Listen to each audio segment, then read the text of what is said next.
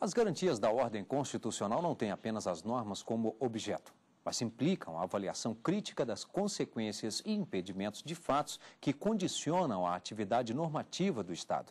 No Academia de hoje, vamos conhecer um estudo do mestre em Direito Constitucional Paulo Paiva. A análise tomou como referência decisões das cortes constitucionais norte-americana, alemã, brasileira e da Corte Europeia de Justiça. Controle judicial dos fatos legislativos na jurisdição constitucional. Dissertação apresentada como requisito parcial à obtenção do título de mestre em Direito Constitucional no curso de pós-graduação estricto senso em Direito do Instituto Brasiliense de Direito Público, IDP. O autor do estudo é Paulo Frederico Rodrigues Paiva. Estão aqui para debater o trabalho Marco Aurélio Marrafon, presidente da Academia Brasileira de Direito Constitucional e professor de Direito e Pensamento Político da Universidade do Estado do Rio de Janeiro, e Álvaro Ciarline, professor doutor. Quero aqui agradecê-los pela presença. Marco Aurélio também é o Ciarline, muito obrigado pela presença aqui na Academia de hoje. E nós vamos agora já a um resumo do trabalho do Paulo Paiva. Objetivo do estudo foi investigar o controle judicial dos fatos legislativos na jurisdição constitucional. A atividade foi analisada nos planos conceitual, político-institucional e funcional. A pesquisa destaca atenção ao papel que exerce na operação do juízo de ponderação, com foco particular em suas modalidades mais comuns, juízo de adequação e juízo de necessidade. Paulo, qual foi, qual foi a, a, metodologia utilizada? Eu queria que você também nos contasse quais foram assim as dificuldades enfrentadas para a elaboração do seu trabalho.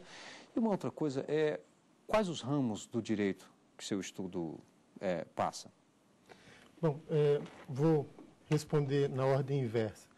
É, é uma questão estritamente é, técnica e interna ao processo constitucional. Então, na literatura, salvo alguma literatura americana é, de origem na ciência política que trata do funcionamento da Suprema Corte, é uma literatura especificamente constitucional e talvez mais do que isso, de processo constitucional. Então, poderíamos dizer que uhum. é um uhum. trabalho realmente é, é, estruturado no interior da reflexão sobre o processo constitucional.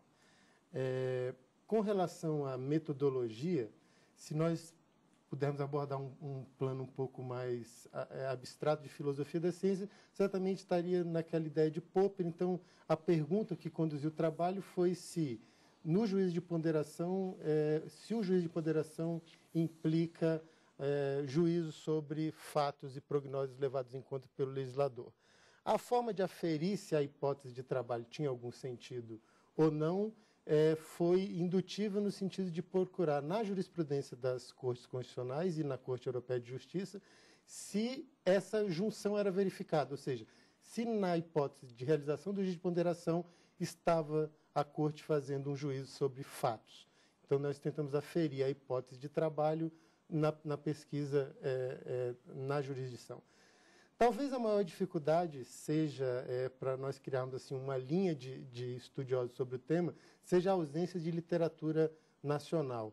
É, salvo um trabalho pioneiro do ministro Gilmar, é, nós não temos na literatura nacional uma grande bibliografia sobre essa questão específica, controle de fatos e prognose na jurisdição constitucional. Então, realmente, a pesquisa tem que ser feita em grande medida em língua inglesa, é, e, em alguma medida, a doutrina italiana e alemã também nos dão algum suporte.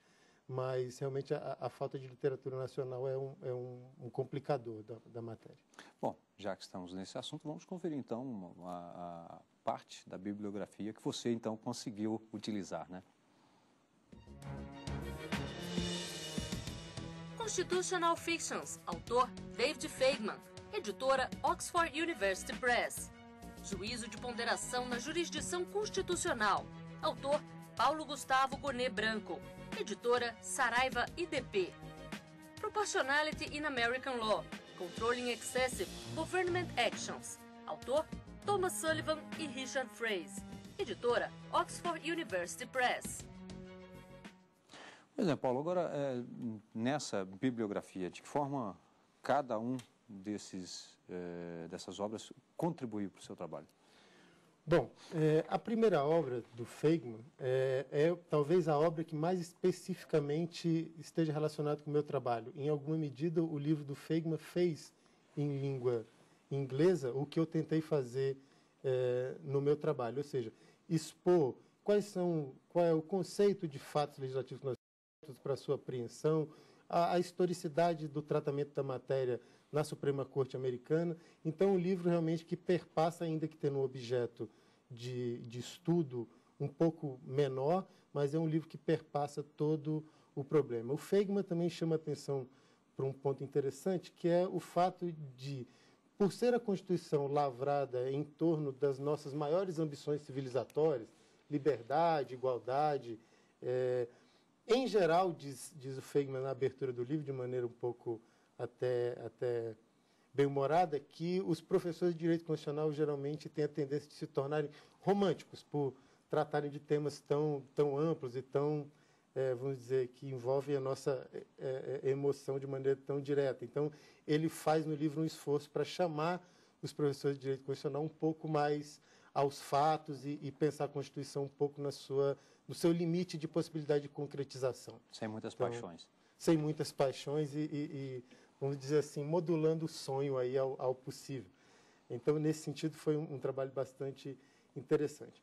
Com relação ao segundo livro, Juízo de Ponderação da Jurisdição Constitucional, é, de autoria do professor Paulo Gonê Branco, é, talvez, e eu acho que eu, que eu posso dizer com, com alguma tranquilidade, é, talvez seja o livro é, mais, mais interessante sobre juízo de ponderação que nós temos na literatura nacional, até porque o professor Paulo faz um pouco do que eu tentei fazer também, que é investigar as raízes desse, desse instituto, dessa forma de aplicação do direito é, na matriz norte-americana. Então, como eu, ele também encontrou bastante é, um número bastante razoável de decisões da Suprema Corte, até do século XIX, em que o juízo de ponderação parece bastante evidente. Então, foi importante até para dar essa sinalização.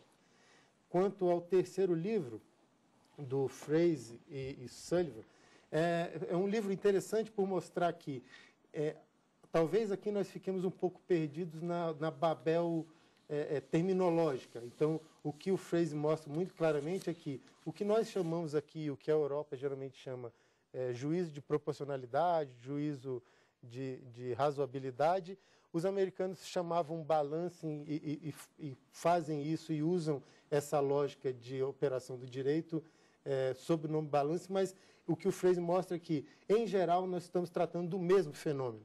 Inclusive, mostra algumas decisões na Suprema Corte Americana em que o termo princípio da proporcionalidade tinha sido é, utilizado. Ou seja, é, a distinção aqui talvez seja mais terminológica do que da natureza do, do, Instituto e da natureza da sua operação dentro das várias jurisdições constitucionais. Então, o livro do, do Fraser e do Sullivan serve para um pouco quebrar essa impressão de dicotomia nos institutos, sendo que a operação aqui é, é de uma lógica de, de decisão judicial que parece ser mais ou menos a mesma. Paulo, queria que você falasse do trabalho e também da, das conclusões.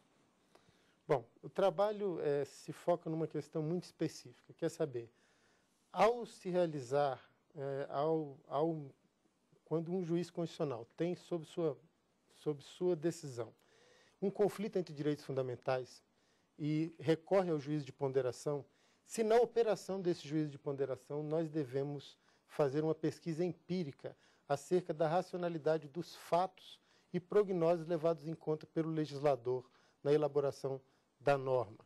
É, então, o, o que importa saber é: o tribunal pode pesquisar a empiria levada em conta pelo legislador, ele deve fazê-lo, quais fatos devem entrar nesse juízo, como esses fatos devem ser apreendidos? E a que conclusões ele deve orientar a corte. Então, o trabalho, em alguma medida, foi elaborado num sistema é, é, dogmático de tentativa de conceituar o que são fatos legislativos, é, pensar nas objeções a, a, a essa operação de controle, pensar nas funções que esse tipo de atividade da jurisdição constitucional tem dentro da dinâmica institucional de uma democracia contemporânea. É, pensar, enfim, é, em que medida isso está sendo feito pelas diferentes jurisdições constitucionais E, por fim, qual o papel que esse instituto, que essa atividade tem para a operação do controle de constitucionalidade entre nós no Brasil. É, então, o que, que nós verificamos nessa pesquisa empírica da, das, das, diferentes, dos diferentes conjuntos de, de jurisprudência que foram estruturados nas diferentes cortes constitucionais? É que é praticamente impossível se levar a cabo o juízo de ponderação, pelo menos de maneira racional ou compartilhável, por aquele que vai sofrer a, a, o efeito da decisão, é praticamente impossível levar, levar a operação do juízo de ponderação a cabo se nós não pesquisarmos as circunstâncias fáticas das quais nasceu a lei e as quais a lei tem que ser aplicada. Em outras palavras, quer dizer que a aplicação legítima de uma determinada norma jurídica implica também a pesquisa sobre a área dessa norma, para usar uma linguagem aqui de Friedrich Miller, mas a área em que a norma vai ser aplicada. Para dar um exemplo e ficar bastante mais claro para o telespectador, vamos pegar um exemplo concreto do, da jurisprudência do Supremo Tribunal Federal. Há algum tempo foi julgado se era constitucional ou não a importação de pneus usados. Então, de um lado, nós tínhamos o princípio a garantia do meio ambiente equilibrado para as presentes e futuras gerações. Ora, é, se os, a importação de pneus, de fato, gerasse um passivo ambiental grave, evidentemente que não seria constitucional sua importação. Do outro lado, qual era o argumento? Ora, em torno da importação de pneus usados, já foi estruturada uma indústria de reciclagem, com investimento, com contratação de mão de obra. Então, aqui também está havendo a realização do princípio da liberdade da atividade econômica. Bom, mas quanto desse passivo era utilizado na atividade econômica e quanto desse desse pneu usado importado ficava para deterioração da natureza. Isso era a questão a ser decidida. Então, muito é, é, confirmando essa leitura, a ministra Carmen Lúcia fez o quê? Convocou uma audiência pública, e como nós sabemos, as audiências públicas no Supremo não são para instruir os ministros sobre a constitucionalidade da lei, são para instruir os ministros sobre questões fáticas, científicas, técnicas, que importem ao juízo sobre a constitucionalidade da lei. O que, que se aferiu? Aferiu-se que do universo de pneus importados, apenas 15% ou 10% eram utilizados na indústria e que 85%, 90% restavam como passivo ambiental. A decisão do tribunal, então, parecia estar faticamente justificada no sentido de que a importação de pneus usados é inconstitucional, porque no plano empírico, no plano fático, ele realmente causava um dano de magnitude considerável ao meio ambiente. Agora, pensemos, se a conclusão de fato, se os dados fáticos mostrassem o contrário, que apenas 10% desse pneu importado terminasse como passivo e que 90% dele realmente é, fosse utilizado como matéria-prima de uma atividade econômica lista autorizada pelo Estado. Talvez nós teríamos uma decisão diferente sobre a constitucionalidade da lei.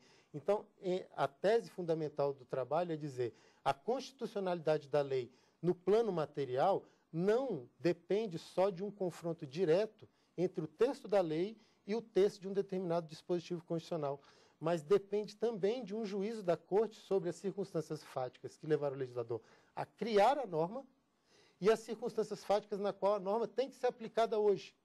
Porque, como no Instituto da Mutação Constitucional, e nós sabemos disso, muitas vezes a alteração das circunstâncias fáticas torna uma lei que nasceu constitucional inconstitucional ela sofre um processo de inconstitucionalização por sua inadequação em relação ao âmbito normativo. Então, o trabalho quis, na verdade, criar uma estrutura dogmática de investigação desse âmbito normativo.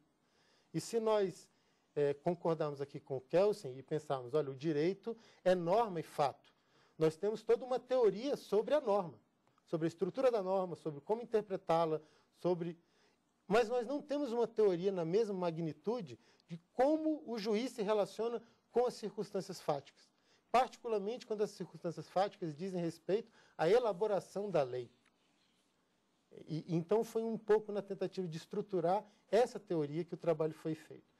Quanto às conclusões, é, eu poderia dizer que eu aferi é, de maneira bastante é, sólida que em todas as todos os órgãos de jurisdição constitucional, é, o juízo de ponderação não é levado a cabo sem algum grau de pesquisa empírica. Então, em alguma medida, a hipótese inicial do trabalho foi confirmada pela evidência empírica, tomando evidência empírica aqui como, como conjunto do, da, da jurisprudência criada por vários tribunais constitucionais. Então, quer dizer, a conclusão foi que, sim, o controle de fatos e prognoses legislativos é uma peça fundamental, é condicina qua non da operação do juízo de ponderação. Bem, nós vamos aqui fazer um rápido intervalo e em seguida estaremos de volta já na fase de debates aqui no Academia. Até já.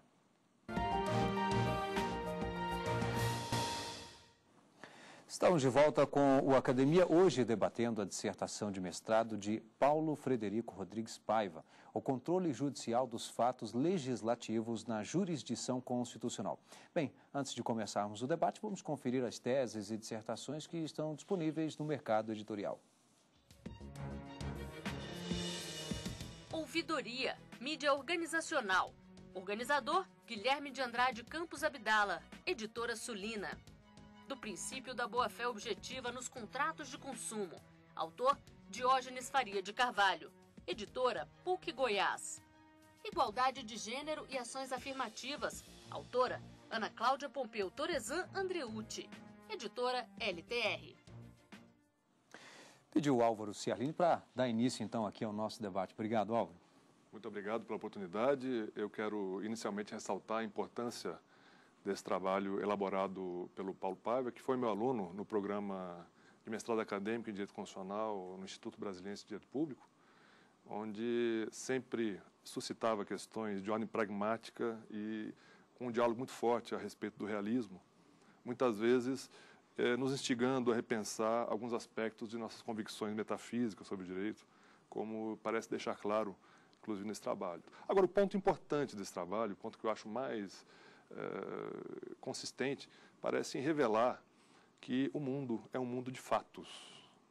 Se tomássemos o ponto de partida do, neopositivismo, diríamos que o mundo jurídico é a soma de fatos jurídicos. E o jurista não pode deixar de proceder à análise da repercussão desses fatos no seu trabalho diário. Isso, então, a primeira questão.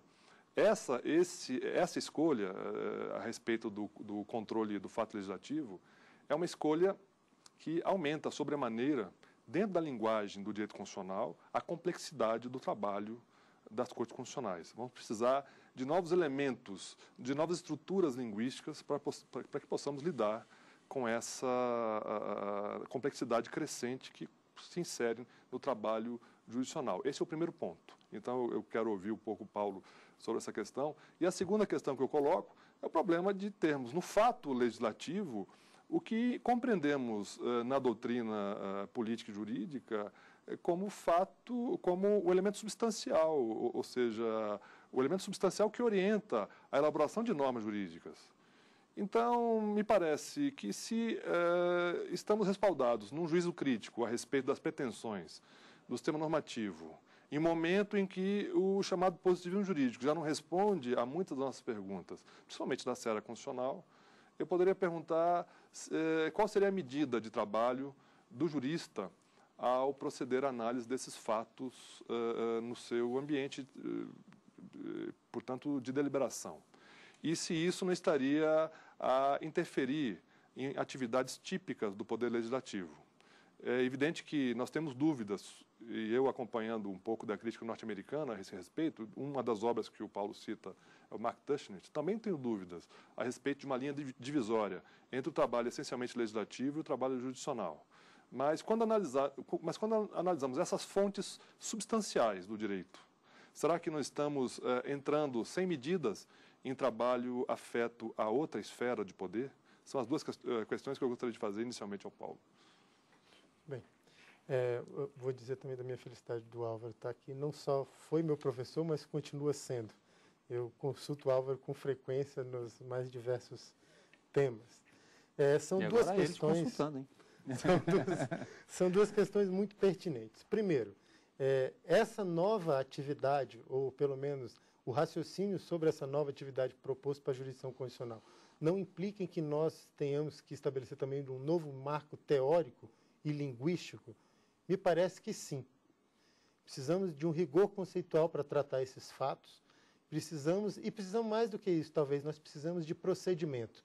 Nosso problema é talvez bem menor do que de outras jurisdições constitucionais que não têm a possibilidade de recepção de amicicure, não tem a possibilidade de realização de audiências públicas. Então, em alguma medida, na Lei 9868 na Lei 9882, nós já temos um início de procedimento mediante o qual a Corte pode apreender esses fatos que importam à constitucionalidade da norma. Mas certamente é um trabalho ainda, é, vamos dizer assim, é, nós estamos ainda engatinhando nisso. É uma atividade nova e, e a Corte e os ministros tomam consciência da necessidade dela paulatinamente, mas nós já temos uma repetição de audiências públicas mostrando que isso realmente está sendo integrado à atividade cotidiana dos ministros. Agora, certamente precisamos da continuidade da reflexão conceitual e, e teórica sobre isso. É, então, me parece que, que, que sim. A segunda questão é, bom, o juízo legislativo sobre uma determinada circunstância de fato do mundo real e como deve ser regulada essa situação de fato para alcançar quais ou tais objetivos, parece ser de fato o núcleo da atividade legislativa. Então, imediatamente surge a questão: bom, mas se o Tribunal Constitucional refaz esse trabalho, em grande medida, reedita o processo legislativo no que ele tem de análise das circunstâncias fáticas a serem reguladas, nós não estaríamos atingindo aqui de morte a tripartição de poderes? É, me parece que sim e não. É, por duas razões. Primeiro, a partir de determinados marcos teóricos, é, essa atividade é inaceitável. Então, dentro de uma visão mais estrita da tripartição de poderes, é, é, e de uma postura é, um pouco mais radical do ponto de vista democrático, é, seria inaceitável que o tribunal fizesse isso. É, seria inaceitável também a medida em que ele fizesse. Por exemplo, o tribunal ir contra fatos estabelecidos por órgãos do governo com larga capacidade e reconhecida excelência na pesquisa desses fatos, talvez fosse alguma coisa a, a causar espécie a estranha. Então, a ingerência aqui também tem que ser modulada. Mas, é, da forma como eu vejo, e talvez isso não esteja tão expresso no trabalho, mas certamente está expresso em algumas publicações anteriores, da forma como eu vejo, nós vivemos muito mais um sistema é, plural de exercício do poder público do que um sistema já puramente democrático representativo. Os problemas entre a transmissão da dita vontade geral ou vontade popular às instituições já são de muito mapeados pela doutrina e, e não me parece que nós devamos continuar insistindo nisso. Professor Marco Aurélio Marrafon. Bom, esse trabalho ele me surpreendeu bastante. Eu gostei muito da forma como o Paulo abordou, uma vez que ele traz realmente um substrato para a gente pensar o problema da jurisdição constitucional desde uma dimensão da realidade que muitas vezes fica mesmo é, longe dos grandes estudos acadêmicos na área, em que se discute princípios em, como se a realidade fática não tivesse presente na própria formulação da norma. Ou seja, se, se entendemos a norma como resultado desse processo interpretativo, desse, desse processo de concretização do direito, nós temos aí que levar em conta esse elemento. E esse elemento realmente fica muito é, oculto nas obras de direito em geral. Então, o ineditismo e a originalidade de trazer esse tema para o Brasil é algo assim muito elogioso, algo que realmente me fez pensar bastante e refletir. Nesse contexto, inúmeros desafios da jurisdição nos impõem. Né? A gente tem pensado aí nos marcos já de uma tentativa de superação do positivismo mais rasteiro, ainda que essa superação passe por questões filosóficas, filosofia da linguagem, gente pode dizer, olha, há toda uma construção teórica é, voltada a dar conta desses problemas do constitucionalismo contemporâneo, uma hermenêutica construtivista na linha de Dworkin, uma hermenêutica filosófica na linha de Esser, Kaufmann, mesmo no Brasil Streck, ou uma argumentação procedimentalista, poderíamos dizer Habermas, Nino, Gagarella, e também uma teoria da argumentação mais voltada ao problema da ponderação. Então, tendo essa base, eu gostaria e o professor Paulo, pegando um gancho do final do texto dele, que ele fala, olha, tem uma perspectiva, então, de uma jurisdição constitucional que seja dinâmica e pluralista, a expressão que ele usa, com certa flexibilização dos requisitos formais. Eu gostaria que o professor Paulo, então, nos explicasse um pouco melhor, mas profundamente, como, o que consistiria essa jurisdição dinâmica e pluralista, essa flexibilização, e também, nesse contexto, é, pensar um pouquinho sobre o problema do constrangimento ao legislador, que isso faria, já pegando um pouco gancho também na pergunta do professor Álvaro, é, em relação à sua discricionariedade na hora de elaborar as leis, ou seja, a discricionariedade legislativa ela fica limitada pelo controle de constitucionalidade. Sendo assim, é, como ficaria, nesse perspectiva, o controle, em que o controle dos fatos legislativos poderia ajudar, e alguns elementos estão no seu texto, né, o controle da própria discricionariedade judicial especialmente nos chamados casos de compreensão complexa, onde a densidade semântica da, dos textos legislativos, ou mesmo das normas princípios, não é tão visível para o intérprete. Então, era mais ou menos nessa linha que eu gostaria de aprender um pouquinho mais aí com o professor Paulo. É, também dizer da minha felicidade do Marrafon estar tá aqui, meu colega na academia e, e no Senado. É, são duas questões também bastante interessantes. A primeira, quando se coloca a questão de que esse tipo de atividade ser transferida para o plenário da jurisdição constitucional importaria numa abertura pluralista à discussão sobre a lei. Em que sentido isso é dito? Bom, nós temos um sistema certamente pluripartidário e bastante representativo das várias, eh, das várias facções, dos vários grupos sociais que têm interesse na condução da coisa pública. Certamente nós temos, nós temos um dos sistemas mais fragmentários do ponto de vista partidário que encontramos é, na época contemporânea. Mas mesmo sendo assim tão extenso, ele não é total. Então, há grupos minoritários que podem ter interesse em discutir a constitucionalidade da norma que não logram sequer a eleição de um deputado. Então, há grupos excluídos, realmente. De outra, de outra sorte, a relação parlamentar, e nós vemos isso de maneira muito clara que trabalhamos no parlamento, se dá em grande medida pela força, ou seja, pela desigualdade do número de parlamentares que esposam uma posição ou outra. Bom, por que, que transferir isso para o judiciário e implementa o pluralismo de maneira mais completa? Porque no judiciário parece ser, parecem ser quebrados esses dois parâmetros.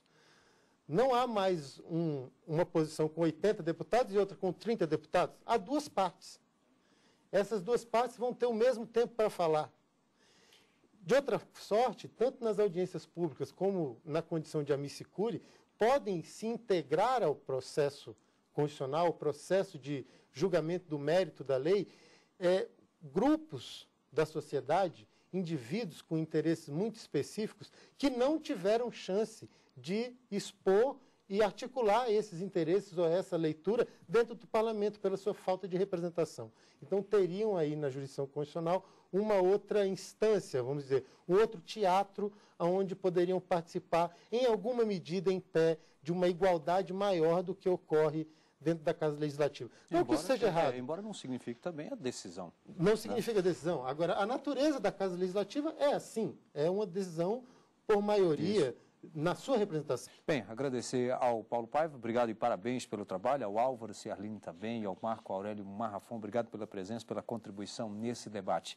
E lembro que você pode participar do Academia, para isso é fácil, basta enviar a sua dissertação ou tese para o e-mail academia.stf.jus.br.